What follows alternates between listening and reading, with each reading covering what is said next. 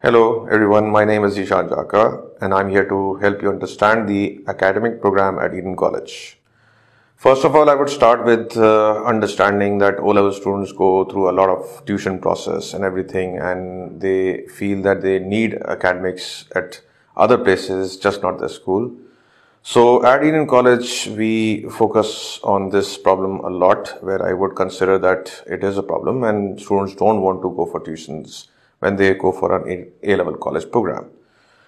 Firstly, our first uh, step towards this is that we have experienced teachers at Eden College which are small with a small classroom ratio. And uh, besides that, I do understand that every student does need, besides the classroom, they do need help outside as well.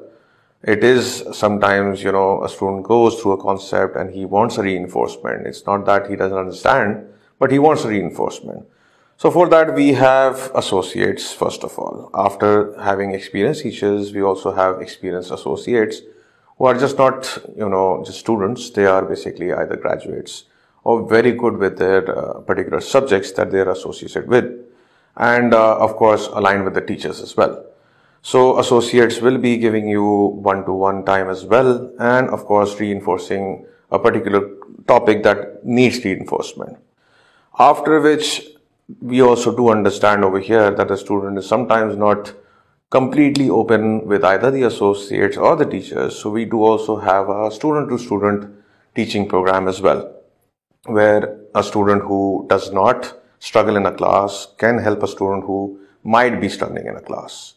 So eventually at Eden College, we focus towards a no need for tuition culture.